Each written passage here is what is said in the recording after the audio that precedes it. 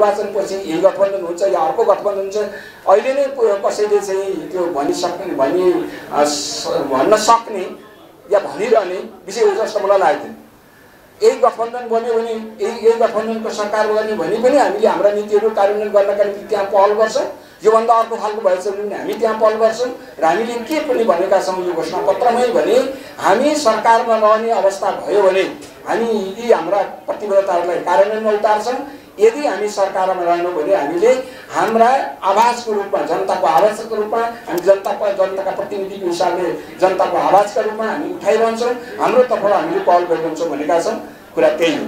गठबन्धनै रहेछ यही गठबन्धन रहेछ यो गठबन्धनै आइपुग्ने रहेछ भने हामीले हाम्रा यी नीतिहरू कार्यान्वयन गर्नका निम्ति त्यहाँ रहेर पहल गर्छौँ। यदि यो रहेन अर्कै खालको परिस्थिति सृजना भयो भने तदनुरूपै हामीले हाम्रा कुराहरू लिएर चाहिँ अगाडि बढ्छौँ भन्ने कुरा चाहिँ हो। सामान राम्रो छ ढुक्क हुनुहोस्। थाहा छ थाहा छ। त्यसैले त यही लिन आएको गुणस्तरीय प्लम्बिङको भरपर्दो नाम मार्बल